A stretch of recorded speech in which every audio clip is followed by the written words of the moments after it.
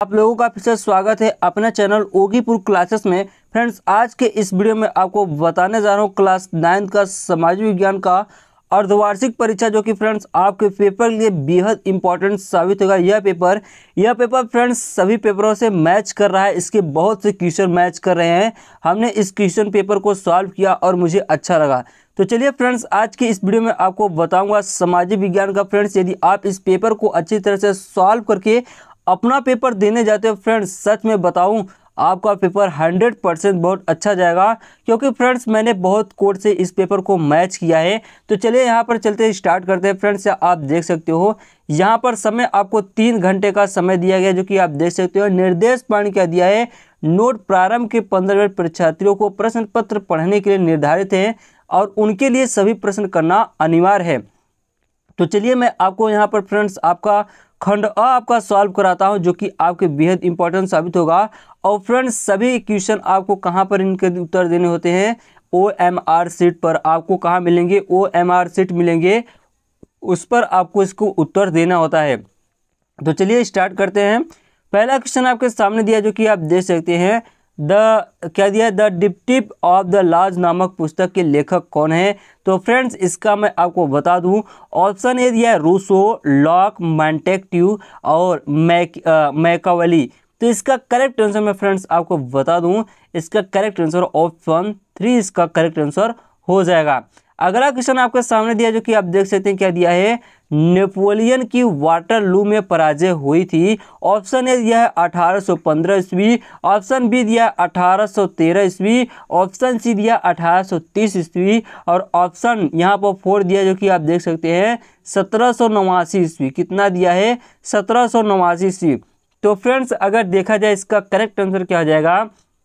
तो जो मानटेक्टू का जो वाटरलू में पराजय कब हुई थी फ्रेंड्स? वाटरलू की लड़ाई 18 जून 18 जून, कितना जून फ्रेंड्स? 18 जून 1815 ईस्वी को कब हुई थी? 1815 ईस्वी को स्टार्ट हुई थी, जो कि फ्रेंड्स कहाँ हुई थी? बेल्जियम में हुई थी। अगर स्थान पूछे तो कहाँ हुई थी? बेल्जियम में हुई थी। कहाँ हुई थी? बेल्जियम में हुई थी फ्रेंड्स। कहाँ पर? 18 जून, जो कि लड़ाई कहाँ पर हुई थी फ्रेंड्स? बेल्जियम हुई थी। 1815 से इसका करेक्ट आंसर हो जाएगा। अगला क्वेश्चन आपके सामने दिया, रूस की क्रांति किस वर्ष हुई थी? ऑप्शन ने दिया 1905 ईस्वी 1912 ईस्वी 1915 ईस्वी 1917 ईस्वी। तो भाई, मैं बता दूँ, रूस की क्रांति कब हुई थी? रूस की क्रांति 1917 ईस्वी 1917 ईस्वी में हुई थी। और कब शुरू हुई थी? अगर ये पूछे तो 8 मार्च 8 मार्च कब हुई थी शुरू? 1917 ईस्वी। 8 मार्च 1917 ईस्वी से शुरू हुई थी। और कब तक चली थी? 16 जून 1923 ईस्वी तक ये फ्रेंड्स लड़ाई चली थी। तो इसका करेक्ट आंसर क्या आ जाएगा फ्रेंड्स इसका करेक्ट आंसर ऑप्शन डी इसका करेक्ट आंसर हो जाएगा 1917 ईस्वी। अगला क्वेश्चन आपके सामने दिया जो कि आप देख सकते हैं, समाजवाद का जनक कौन था? ऑप्शन ने दिया रूसो, फिर दिया मार्टिन लूथो, मार्टिन लूथर, फिर दिया स्टेलिन और कार्ल मार्क्स। तो फ्रेंड्स मैं आपको बता दूँ, समाजवाद के जनक कौन थे? तो समाजवाद के ये कॉल मार्क्स ये जनक थे। क्यों इनको माना गया था? क्योंकि ये वैज्ञानिक क्या थे, वैज्ञानिक जनक थे, इसीलिए इनको माना गया था समाजवाद का जनक। ऑप्शन डी इसका करेक्ट आंसर हो जाएगा।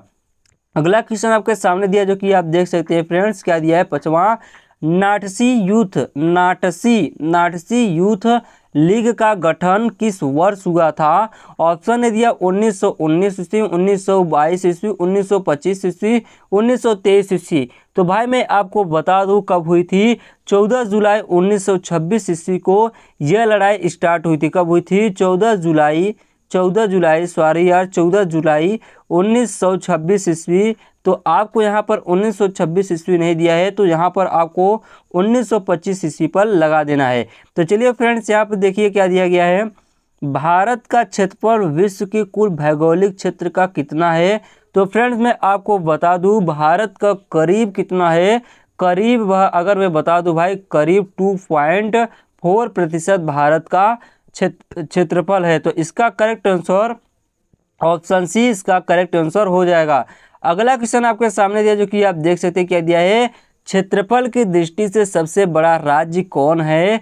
ऑप्शन ए दिया उत्तर प्रदेश, मध्य प्रदेश, राजस्थान, छत्तीसगढ़। तो इसका करेक्ट आंसर क्या हो जाएगा? राजस्थान क्षेत्रफल की दृष्टि से सबसे बड़ा राज्य है फ्रेंड्स भारत का। ऑप्शन सी इसका करेक्ट आंसर हो जाएगा।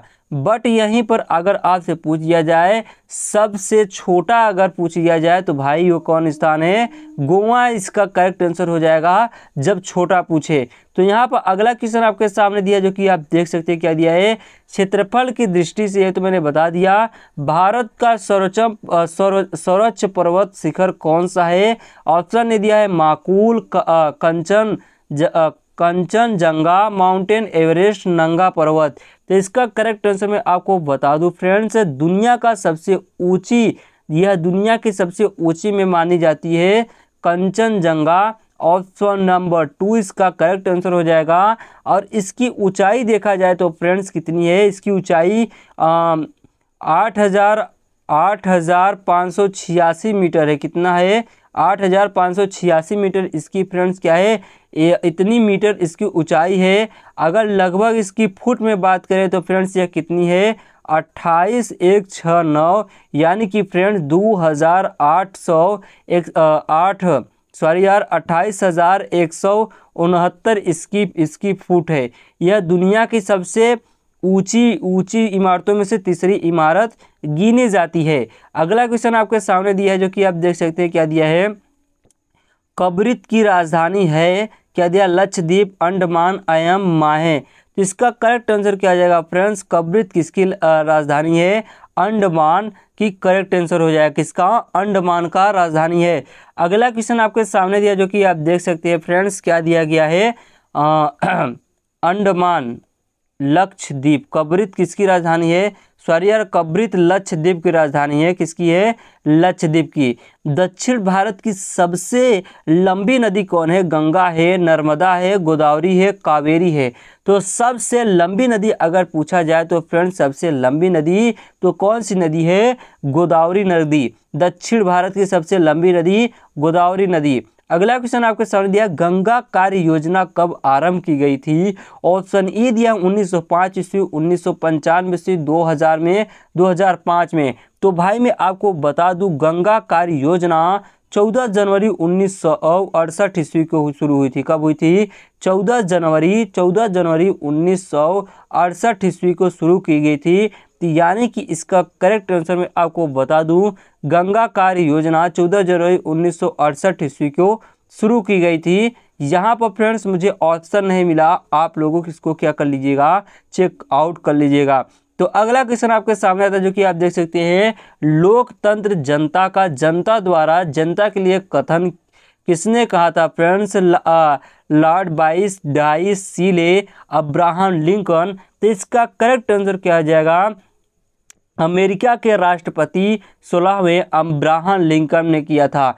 ये कहाँ के राष्ट्रपति थे फ्रेंड्स? अमेरिका के। जो कि अगला क्वेश्चन आपके सामने दिया है जीवन पद्धति के रूप में लोकतंत्र क्या है?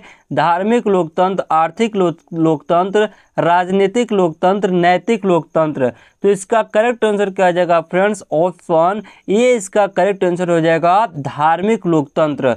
अगला क्वेश्चन आपके सामने दिया जो कि आप देख सकते हैं क्या दिया है फ्रेंड्स संविधान सभा के स्थायी अध्यक्ष कौन थे? ऑप्शन ए आपके सामने दिया जो कि आप देख सकते हैं क्या दिया है?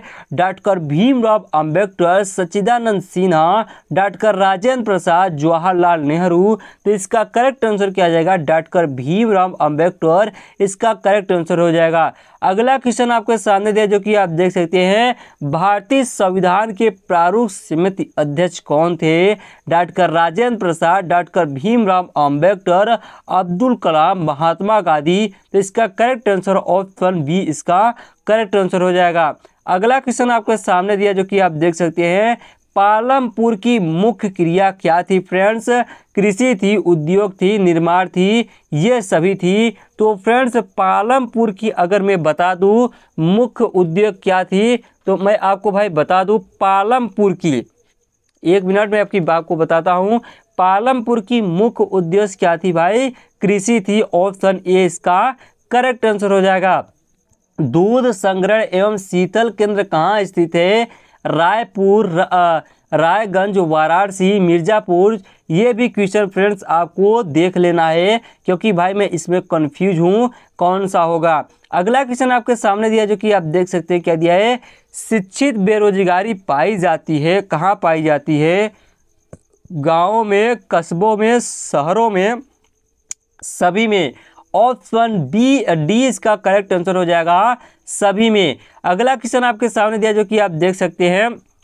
भारत में 211 की जनगणना के अनुसार साक्षरता दर कितनी थी? अगर भाई देखा जाए 2001 की जनगणना के हिसाब भारत की जो आबादी थी फ्रेंड साक्षरता दर थी अड़सठ दशमलव फोर पॉइंट थ्री प्रतिशत थी। और इस समय अगर इस जनगणना के हिसाब से देखा जाए 2011 की तो ये कितनी हो गई है? छहत्तर दशमलव ज़ीरो पॉइंट फोर ये हो चुकी है। तो इसका करेक्ट आंसर क्या आ जाएगा? फ्रेंड्स इसका करेक्ट आंसर यहाँ पर आपका जो तिहत्तर परसेंट दिया गया है यहाँ पर आपका इसका करेक्ट आंसर हो जाएगा। अगला क्वेश्चन आपके सामने दिया जो कि आप देख सकते हैं क्या याद ब्राह्मण, ब्रह्मपुत्र नदी ब्रह्मपुत्र नदी, यानी कि ब्रह्मपुत्र नदी अरुणाचल। अरुणाचल में किस नाम से जाना जाता है? लोहिता, साको, विभाग, दिहंगा। तो इसका करेक्ट आंसर क्या हो जाएगा फ्रेंड्स ऑप्शन डी इसका करेक्ट आंसर हो जाएगा। और फ्रेंड्स यहाँ पर आपके दिए गए हैं जो कि आप देख सकते हैं वर्णात्मक प्रश्न और इन क्वेश्चनों को आप स्क्रीनशॉट ले सकते हो। फ्रांसीसी समाज को कितने स्टेट में वर्गीकृत किया गया है? और ये दिया है फ्रेंड्स अथवा करके दिया है खूनी रविवार की खूनी रवि, रविवार क्या है? इस घटना के उपयुक्त कौन सी घटनाएँ घटी? और फिर दूसरा क्वेश्चन प्रथम विश्व युद्ध में जर्मनी की पराजय की कारण क्या थे? फिर फ्रेंड्स अथवा करके दिया है, आप यदि इसे नहीं कर पाते हैं, उत्तरी मैदान में बहुत संघन पराजय, बहुत संघन जनसंख्या, इसकी कोई तीन कारण लिखिए। लोकतांत्रिक सरकार के प्रमुख लक्षणों का उल्लेख कीजिए। तीन क्षेत्रों में रोज़गार के प्रदेश की चर्चा कीजिए। पालमपुर पालमपुर में किसानों की भूमि वितरण किस प्रकार है? फिर दिया हिमालय की नदियों की तीन विशेषता लिखिए फ्रेंड्स आपको हिमालय की नदियों कितने लिखने हैं? तीन विशेषता। और फ्रेंड्स फ्रेंड्स यहाँ से आपके स्टार्ट होते हैं वर्णात्मक प्रश्न। आप एक बार इनका स्क्रीनशॉट ले सकते हो, जो कि फ्रेंड्स आपके क्वेश्चन पेपर की बेहद इंपॉर्टेंट साबित होने वाले हैं। इन क्वेश्चन इन क्वेश्चनों को आप एक बार रिवाइज करके ज़रूर जाइए। फ्रांस की क्रांति पर किन किन दार्शनिकों का प्रभाव पड़ा? रूस क्रांति से आप क्या समझते हो? भारत की तट रेखा कितनी लंबी इसके पाँच लाभों का वर्णन कीजिए। हिमालय पर्वतमाला का विवरण यह कितनों भागों में विभाजित हुआ? लिखना है भारतीय संविधान में दिए गए मौलिक अधिकारों की मुख्य विशेषता बताइए। अथवा करके दिया है भारत में स्वतंत्र एवं निरपक्ष चुनाव कराने वाले के लिए का, क्या कदम उठाए गए? और फ्रेंड्स यहाँ पर देखिए लास्ट में आपको दिया गया है, बेरोजगारी की प्रमुख हानियों को संक्षेप में वर्णन कीजिए अथवा करके दिया है। और फ्रेंड्स यहाँ पर आपको मानचित्र दिया है, जो कि आप देख सकते हैं, एक क्वेश्चन दो अंक का है फ्रेंड्स पहला क्वेश्चन आपके सामने दिया है, वह स्थान जहाँ पर लाल किला स्थित है। तो लाल किला कहाँ पर स्थित है फ्रेंड्स नई दिल्ली। इसका करेक्ट आंसर हो जाएगा। वह स्थान जहाँ पर नवाबों का शहर कहा जाता है। फ्रेंड्स, वह स्थान कौन सा है? लखनऊ। इसका करेक्ट आंसर हो जाएगा, नवाबों का शहर कौन से कहा जाता है? लखनऊ। वह स्थान जहाँ भारत का संसद भवन स्थित है, वह फ्रेंड्स कौन से स्थान है? नई दिल्ली। इसका करेक्ट आंसर हो जाएगा। वह स्थान जहाँ गेट वे ऑफ़ इंडिया स्थित है तो फ्रेंड्स मैं आपको बता दूँ गेटवे ऑफ़ इंडिया आपके बॉम्बे में स्थित है, यानी कि मुंबई इसका करेक्ट आंसर हो जाएगा बॉम्बे इसका करेक्ट आंसर हो जाएगा। अगला क्वेश्चन आपके सामने दिया है, वह स्थान जहाँ इंदिरा गांधी हवाई अड्डा स्थित है तो फ्रेंड्स हवाई अड्डा कहाँ स्थित है? नई दिल्ली में स्थित है हवाई अड्डा। तो फ्रेंड्स आई होप कि आज के क्वेश्चन आप लोगों को समझ में आया होगा। यहाँ पर फ्रेंड्स जो क्वेश्चन दिए गए हैं, आप इनका स्क्रीनशॉट लेकर अपना सॉल्व कर सकते हो। आई होप कि फ्रेंड्स आपको यह वीडियो पसंद आया होगा। वीडियो पसंद आया होगा तो प्लीज़ यार वीडियो को एक लाइक कर दीजिएगा और चैनल पर पहली बार विज़िट करें तो प्लीज़ यार चैनल को सब्सक्राइब कर लीजिएगा। यदि आपका अभी पेपर हो रहा है तो फ्रेंड्स आप अपने पेपर का नाम बता सकते हो और आप कमेंट कर सकते हो कि, सर, मेरा पेपर चल रहा है, मुझे पेपर की आवश्यकता है। आपको पेपर प्रोवाइड होते रहेंगे इसी चैनल पर। बस आपको सिंपल सा, छोटा सा काम करना है। आप इस पर क्या करिएगा, एक लाइक कर दीजिएगा और सुंदर सा कमेंट कर दीजिएगा। फ्रेंड्स हम आगे आने वाले दिनों में एक ऐसा आप लोगों को ऐलान करेंगे, जिसमें आप लोगों को पर डे लगभग आपको 20 क्वेश्चन कराया जाएगा लाइव जिसमें से अगले सात दिनों तक जो सही, अगर सही विजेता आपको फ़र्स्ट आते हो तो फ्रेंड्स, अगले सात दिनों के अंदर आपको सौ रुपये का पुरस्कार दिया जाएगा, जो कि आपको यह आपको पेपर के अगले सात दिन तक आपको लाइव में, यानी कि फ़र्स्ट और सेकेंड, थर्ड तीनों को आपको क्या दिया जाएगा? रिज़ल्ट आपको दिया जाएगा। तो फ्रेंड्स, यह ऐलान बहुत ही जल्द होने वाला है। आपको प्रोवाइड कर दिया जाएगा आपके कमेंटी बॉक्स में। तो आई होप कि फ्रेंड्स आप लोगों समझ गए होंगे मैं क्या कहने वाला हूँ। तो फ्रेंड्स आप यह ऐलान कक्षा 10 12 वालों के लिए आवश्यक है फ्रेंड्स और कक्षा नौ वालों के लिए भी बहुत ही ज़रूरत है, क्योंकि हमारा टारगेट है फ्रेंड्स कक्षा दस वाले भाइयों के साथ, वो अपने पेपर में अच्छा करें, और कक्षा दस में वही क्वेश्चन सॉल्व होगा। प्रीवियस ईयर के बहुविकल्पी क्वेश्चन उठाए जाएँगे, और वहीं से क्वेश्चन दिए जाएँगे फ्रेंड्स और पर डे लाइव चलाया जाएगा फ्रेंड्स उस लाइव में जो भी भाई अगले सात दिनों तक लगातार आकर लाइव में जुड़ता है और अपने आंसर को पहले, दूसरे, तीसरे नंबर पर आने की कोशिश करता है। उसे लास्ट दिन यानी कि संडे को सौ रुपये से भी ज़्यादा उसको क्या मिलेगा? गिफ्ट दिया जाएगा। आई होप कि फ्रेंड्स आप लोग समझ गए हैं। जैसे आप लोगों की संख्या बढ़ती जाएगी और आप लोगों का प्राइस बढ़ता जाएगा फ्रेंड्स तो आई होप कि फ्रेंड्स आप लोग समझ गए होंगे।